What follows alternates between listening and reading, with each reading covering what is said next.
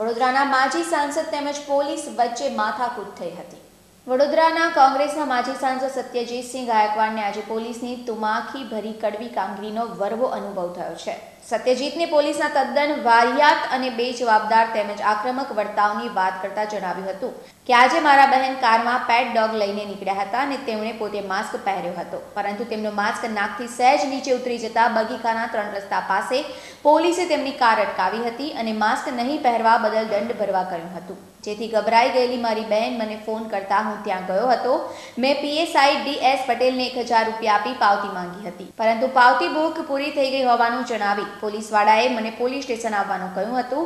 મેં તેમને પાવતી બુક લઈ આવવાનું કહી વિનંતી કરી હતી કે હું દંડની રકમ લઈને ઊભો છું, મારા બહેનને જવા દો, પરંતુ પીએસઆઈએ મારી સાથે બેફામ બોલાચાલી કરી ગાળો બોલી મને બે લાફા મારી દીધા હતા.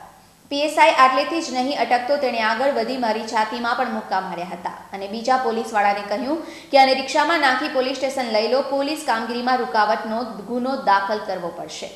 મેં પોલીસ સ્ટેશન જવાની તૈયારી પણ બતાવી હતી, પરંતુ ઘરે જઈને ગાડી લઈને આવું છું તેવું કહેતા પીએસઆઈએ મારી સાથે બે પોલીસ જવાનોને મોકલ્યા હતા, તેટલી જ વારમાં પીએસઆઈ ડીએસ પટેલ પણ પાછળ પાછળ મારા ઘરમાં ઘૂસી આવ્યા હતા અને ધમકી આપી હતી કે તારી સામે ગુનો દાખલ કરી તને વોન્ટેડ જાહેર કરીશ. એસીપી મેઘા તેવરે આ બનાવ અંગે જણાવ્યું હતું કે સત્યજીત ગાયકવાડે દંડ ભરવાની જવાબદારી લઈને બહેનને છોડાવી હતી. ત્યારબાદ તેઓ પણ દંડ ભર્યા વગર જતા રહેતા હતા, જેથી પોલીસે તેમને અટકાવી દંડની રકમ માગી હતી.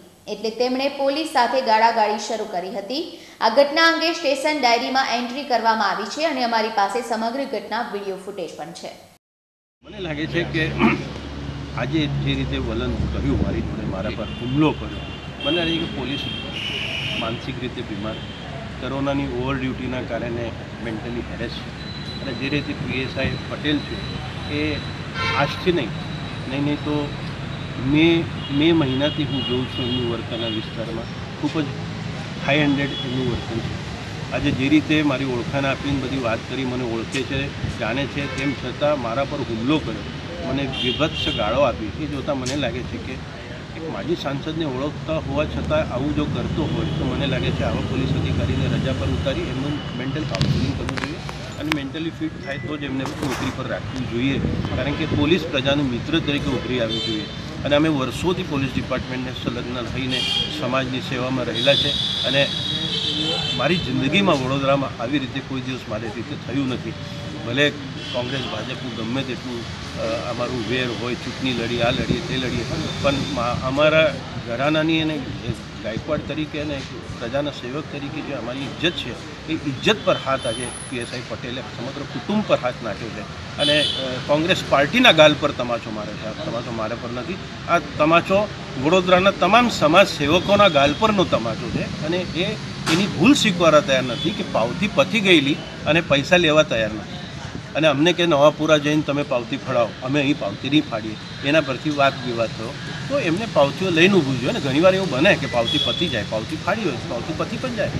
તો બીજી પાવતી લાવતા કેટલો વાર લાગે? અડધો કલાક લાગે. હું ત્યાં ઊભા રહેવા તૈયાર હતો. પાવતી ફાડતા તો ત્યાં હું ઊભા રહેવા તૈયાર હતો. અને મેં કીધું આ પૈસા લઈને હું ઊભો રહું છું તમે ગાડી જવા દો. તો એમને જે રીતે વર્તન કર્યું હું મને લાગે છે કે પીએસઆઈ પટેલ માનસિક બીમાર છે એમને તાત્કાલિક મેડિકલ ટ્રીટમેન્ટની જરૂર છે. તમારા પર હાથ પણ ઉપાડ્યો? હા મારા પર હાથ બે તમાચા માર્યા મને. આ મને અહીંયા લાલ લાલ પણ થયું છે. બે ત્રણ પોલીસે મને પકડી રાખ્યો અને એને એમને પછી છાતીમાં બે જોર જોરથી મને મુક્કા પણ માર્યા છે. આ જોતાં મને ચોક્કસપણે એવું લાગે છે કે માનસિક બીમાર લોકોને પોલીસ ડિપાર્ટમેન્ટમાં લઈ રાખે. એવી ઘટના છે કે નવાપુરા પોલીસ સ્ટેશન વિસ્તારમાં માસ્ક પાવતી બાબતેની કામગીરી નવાપુરા પોસ્ટની ટીમ કરી રહી હતી. અને દરમિયાન એમના ઘર પાસેના જ એક વિસ્તારમાં જ્યારે ટીમ કામ કરી રહી હતી, તે દરમિયાન એક બેન પોતાના ડ્રાઈવર સાથે, એક શોફર ડ્રીવન ગાડીમાં પાસ થતા હતા અને તેમણે સદંતર માસ્ક પહેર્યું નહોતું. એ બાબતે પોલીસે એમને સમજ કરીને માસ્ક પાવતી બનાવવાની પ્રોસિજર શરૂ કરી. આ દરમિયાન એ બેને સંપર્ક કરતા માજી સંસદશ્રી છે એ સ્થળ પર આવેલા અને એમણે એવું કીધું કે મારા રિલેટિવ છે. એમના વતીની માસ્ક ભાવતી.